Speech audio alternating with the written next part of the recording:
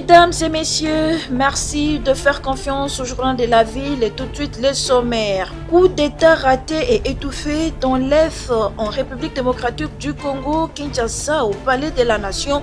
Le tribunal militaire des garnisons de Kinshasa annonce les débuts du procès pour ce vendredi 7 juin 2024 à la prison militaire d'Endolo. 53 prévenus sont poursuivis pour attentat, terrorisme, tentative d'assassinat, détention illégale d'armes et financement du terrorisme. Les secrétaires généraux des partis politiques s'engagent à sensibiliser les membres de leur parti pour les vivre ensemble et la consolidation de la paix en République démocratique du Congo. C'est au cours d'une rencontre organisée en leur faveur ce mercredi 5 juin par l'Église anglicane du Congo. La restauration des terres, la désertification et la résiliation à la sécheresse, c'est le thème de la journée mondiale de l'environnement célébré le 5 juin de chaque année, une journée qui vise à sensibiliser le public et saluer les actions en faveur de l'environnement. C'est tout pour les sommaires. Mesdames et messieurs, encore une fois, bienvenue dans ce journal.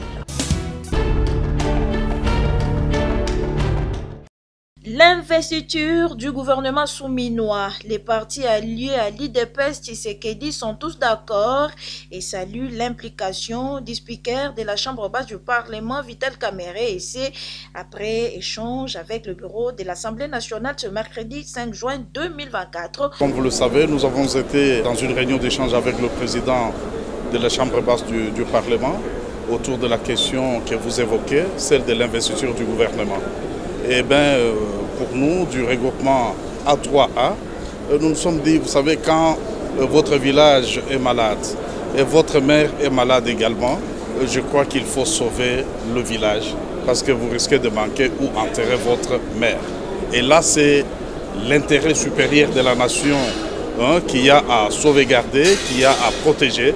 Et nous nous sommes dit, nous nous sommes mobilisés pour pouvoir euh, participer à cette plénière qui va être incessamment convoquée pour l'investiture du gouvernement et ainsi passer aux questions vitales de la République, euh, notamment celle de la guerre de l'Est.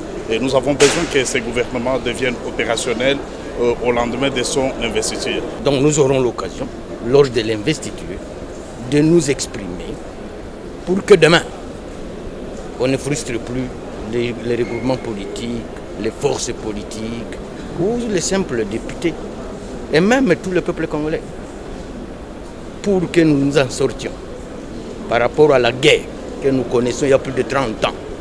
Le seul remède, c'est la cohésion nationale.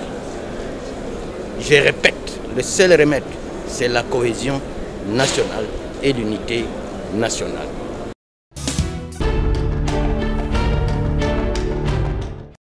C'est une première réunion de prise de contact entre la première ministre chef du gouvernement de la République démocratique du Congo, Judith Souminois, et ses membres ce mardi 4 juin 2024 à l'immeuble du gouvernement.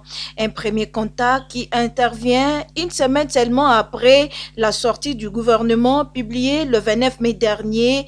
La première ministre Judith Souminois, déjà prête avec son programme depuis plusieurs jours, voulait à travers cette rencontre mettre l'ensemble de son équipe au pas et c'est avant la présentation devant les députés nationaux de son programme et solliciter l'approbation des élus du peuple compte rendu avec le ministre de la Communication et Médias, Patrick Mouyaya Katemwe. La Première ministre nous a présenté les grands axes du programme du gouvernement qui, vous savez, a été calqué sur le modèle des six engagements que le président de la République a présenté au peuple congolais durant sa campagne.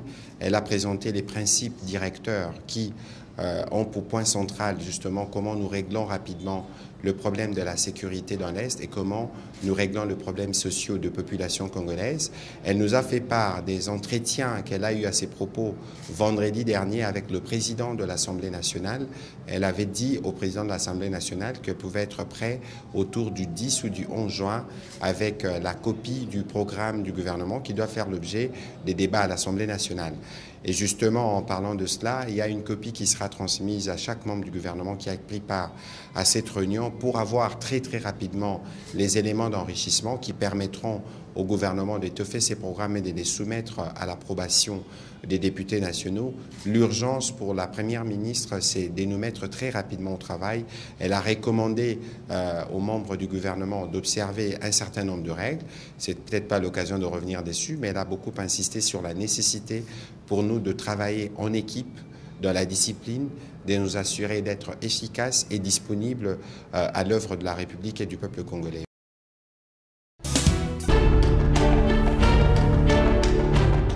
La situation sécuritaire dans l'est de la République démocratique du Congo a été au centre d'un échange ce lundi 3 juin 2024 entre les députés nationaux élus du Nord Kivu et le président de l'Assemblée nationale Vital Kamere. Ces élus étaient porteurs des cris de détresse des filles et fils du Nord Kivu, victimes des affres de la guerre d'agression imposée à la RDC par les Rwandais sous couvert des terroristes du M23. Ils ont sollicité l'implication personnelle du speaker de la Chambre basse du Parlement en sa qualité de fervent défenseur de la population meurtrie de l'Est du pays. La délégation conduite par l'honorable Jeannette Kavira Mapera a sollicité la prise en compte des recommandations adressées à l'état-major général des FARDC et au gouvernement pour mettre fin à la guerre de l'Est, rien à filtrer du contenu du mémorandum remis à Vital Kamere. Prenant la parole, le président de l'Assemblée nationale, Vital Kamere, a appelé tous les honorables députés à un sens élevé de patriotisme et à mettre de côté leur ego afin de privilégier les intérêts du peuple. Il a salué la bravoure et le patriotisme qui caractérisent la population meurtrie du Nord Kivu depuis plusieurs années.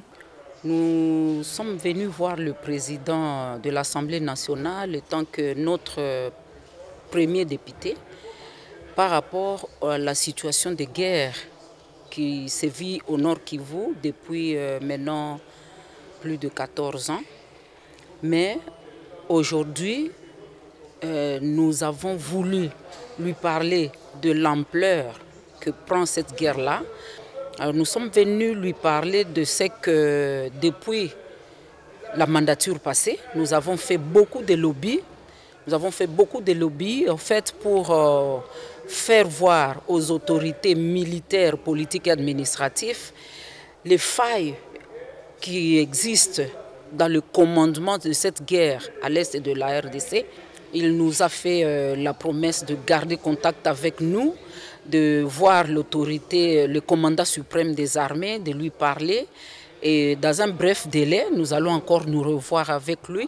Par ailleurs, il a promis d'impliquer d'autres députés non originaires dans la mission humanitaire que va diligenter l'Assemblée nationale au Nord Kivu dans le cadre de la mobilisation générale contre cette guerre. Cette démarche va précéder la tenue d'une plénière spéciale consacrée à la situation sécuritaire dans l'est du pays.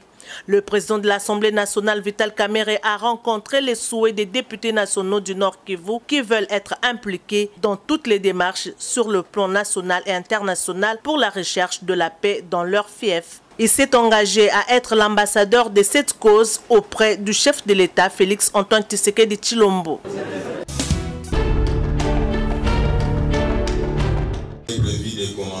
Le vivre ensemble et la paix en République démocratique du Congo, les secrétaires généraux des différents partis politiques actifs au pays s'engagent à vulgariser le message dans leurs partis respectifs pour la consolidation de la paix et de la démocratie en RDC. Les secrétaires généraux des partis ont ainsi rassuré au cours d'une rencontre organisée en leur faveur ce mercredi 5 juin 2024 à Africana Palace par l'Église anglicane du Congo par le trichement de son bureau de développement communautaire BDC avec l'appui de Christian Aid, partenaire. Lors des assises, il a été identifié deux obstacles majeurs pour le vivre ensemble au niveau de notre pays. L'obstacle externe, l'homme politique congolais. Et ce sont les deux défis que les partis politiques doivent relever pour parvenir au vivre ensemble. Et eh bien, au niveau des partis politiques, dans l'éducation civique, c'est effectivement d'encourager euh, les militants et les cadres de parti de prendre en considération la nécessité de vivre ensemble dans notre pays. Il y a une ligne de conduite qui est donnée au niveau de chaque parti politique. Mais lorsque les jeunes se retrouvent et lèvent des options euh, à titre de recommandation, ces options sont les bienvenues. En organisant cette rencontre avec les secrétaires généraux des partis politiques, les acteurs de la société civile, certaines personnalités, l'Église anglicane du Congo veut contribuer au processus de la paix en République démocratique du Congo et à l'éducation civique de la population. Monseigneur Sa Grâce, docteur titre Andé Georges Prima, archevêque de l'Église anglicane du Congo et Congo au Brazzaville. C'est de notre tâche prophétique de traiter avec toutes les couches de la nation. Nous avons voulu aussi mettre ensemble les secrétaires généraux qui sont venus des différents partis politiques, justement pour avoir un cadre de concertation, se connaître mutuellement, échanger autour de l'éducation, puisque nous luttons toujours pour la paix. Et là où il y a la cohésion sociale, les choses avancent bien, mais là où il n'y en a pas, il faut consolider ça, puisqu'il y a beaucoup de jeunes et d'autres qui sont dans ces partis-là. Comment ces jeunes peuvent vivre ensemble, entre eux, mais aussi avec les autres jeunes et la population en général. La réflexion de cette rencontre doit se poursuivre dans un cadre d'échange, un espace de dialogue permanent et inclusif adopté à ces jours, au sein duquel toutes les tendances, pouvoir, opposition et société civile auront droit au chapitre à marteler sa grâce.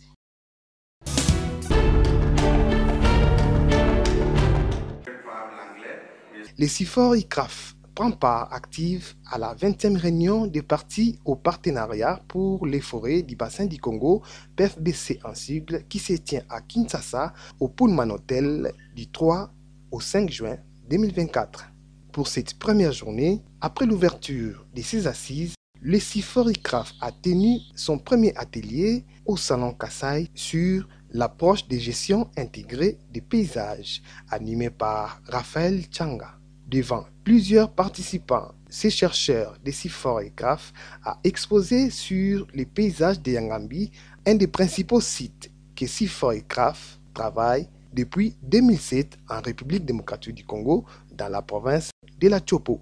Les CIFOR et CRAF travaillent durement dans ces sites de Yangambi dans le but de les protéger afin que ces paysages soient durables en intégrant l'ensemble des populations locales les approches que nous développons dans le cadre de ce programme sont adaptées euh, à la situation de la RDC. Euh, la, zone euh, de Yangambi, comme vous le savez, se situe à quelques encablures de la grande ville de Kisangani, qui se développe aussi très rapidement. Et les solutions que nous développons à l'intérieur du paysage de Yangambi vise justement à faire en sorte que ces paysages soient gérés de manière durable, en intégrant l'ensemble des populations locales, afin que la pression euh, démographique qui est liée au fait que la ville de Kisangani euh, évolue très rapidement ne puisse pas euh, contribuer à une dégradation plus rapide encore de, des forêts dans la zone de Yangambi. C'est pour ça que nous mettons en place plusieurs approches euh, en termes d'accompagnement des, communautés dans l'agriculture, dans euh, le reboisement, dans le développement des activités euh, alternatives de revenus telles que l'apiculture, dans la, la, mise en place et le développement des forêts communautaires, dans la mise en place des fours qui permettent une production euh, un rendement amélioré dans la production du charbon de bois. Et l'agriculture aussi, évidemment, et toutes ces chaînes de valeur que nous développons, que ce soit dans la pisciculture, dans l'agriculture, dans le bois énergie, dans le bois d'œuvre, ont vocation à approvisionner la ville de Kisangani, qui justement est l'un des premiers marchés de, euh, du paysage de Yangambi. Après questions et réponses, les participants sont sortis satisfaits. Je pense que cet atelier, cet atelier est important parce qu'il est un peu à la fois, on est dans une phase un peu de transition de la, des débats sur le secteur forestier. je pense que depuis, euh, euh, et, on, est, on est dans une phase de transition parce que les, les bénéficiaires et les acteurs politiques ont besoin de voir des changements tangibles ces, changements tangibles, pour les, pour amorcer, il faut, dérouler de nouveaux outils. il faut, voir les choses différemment. Comme les a différemment il y a 20, 30 ans. C'est aussi ça, hein. là que je parle de transition. je pense que c'est ces débats qu'on a, vous avez vu, on est sur une phase où tous les gens attendent du concret. Parce que pendant des années, on a beaucoup discuté de conservation, de protéger les animaux, mais aussi à côté de ça, il faut protéger l'homme. Il faut trouver l'harmonie entre l'homme et la nature. Signalons que un autre atelier des a eu lieu dans la soirée le même jour.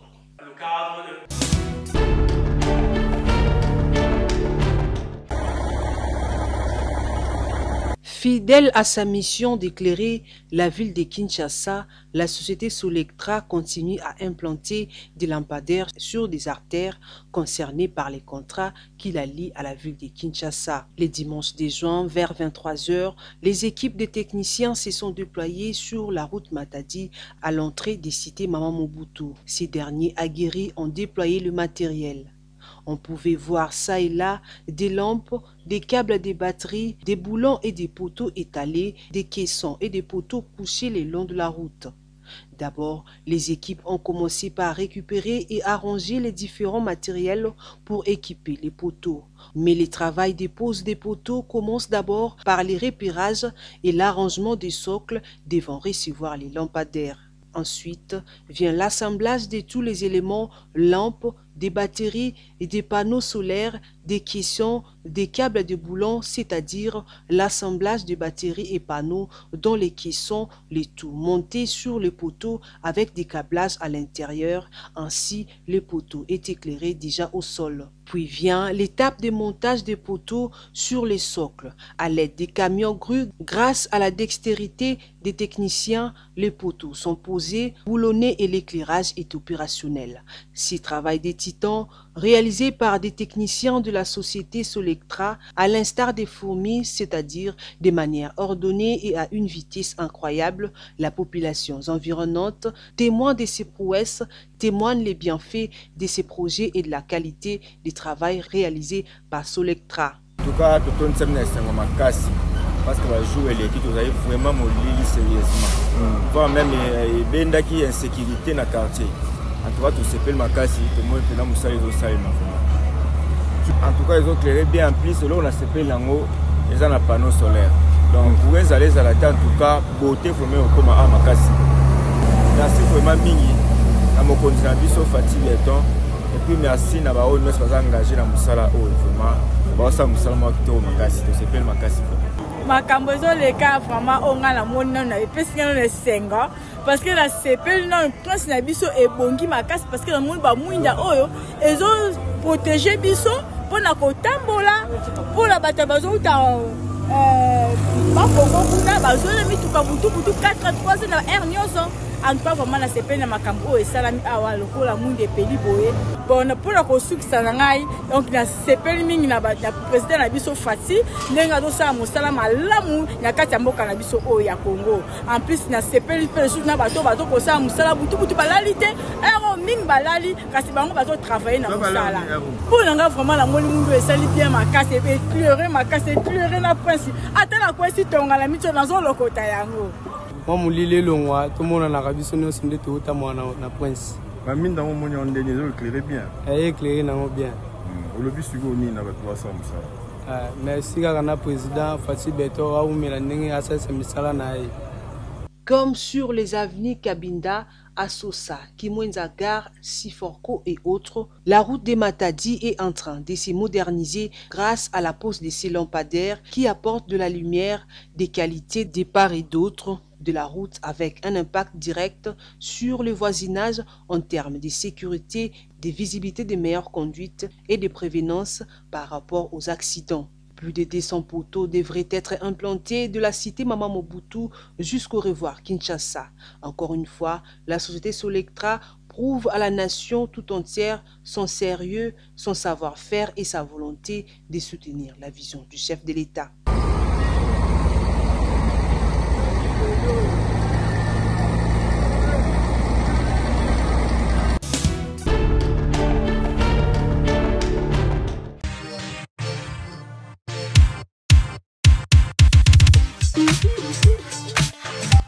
Pékinoise, vous qui aimez vous habiller classe et chic lors de vos événements, voici pour vous une seule adresse. Boutique d'habillement Bédélium.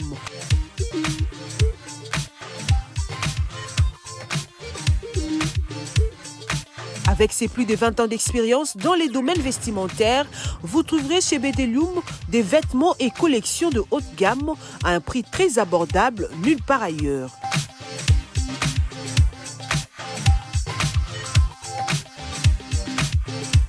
Des robes soirées, costumes pour hommes,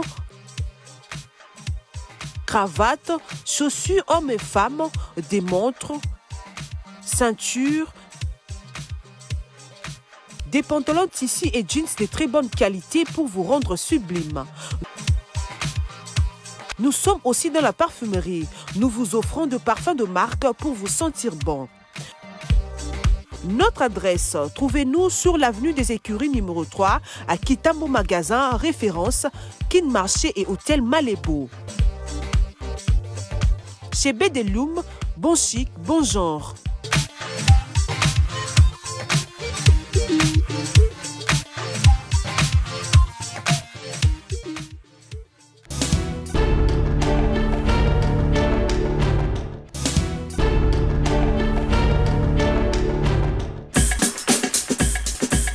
Sommes arrivés à la fin de ce journal de la ville. Mesdames et messieurs, merci pour votre attention soutenue.